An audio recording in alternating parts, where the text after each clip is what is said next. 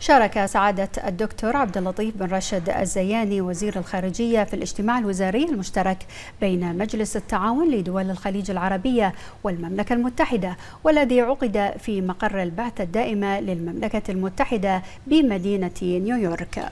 جاء ذلك على هامش انعقاد أعمال الدورة السابعة والسبعين للجمعية العامة للأمم المتحدة.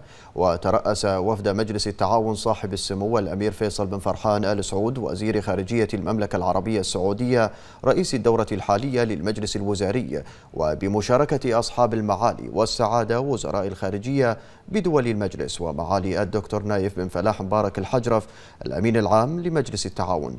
بينما ترأس وفد المملكة المتحدة معالي السيد جيمس كليفرلي وزير الخارجية والكومنولث والتنمية بالمملكة المتحدة.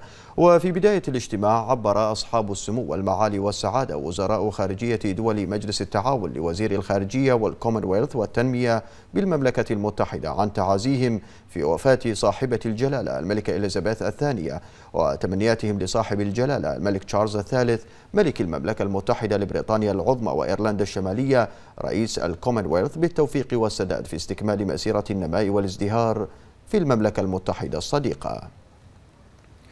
هذا وجرى خلال الاجتماع بحث المسار المتميز للعلاقات التاريخية والاستراتيجية الوثيقة التي تربط بين دول مجلس التعاون لدول الخليج العربية والمملكة المتحدة وسبل تعزيزها وتطويرها على كافة المستويات.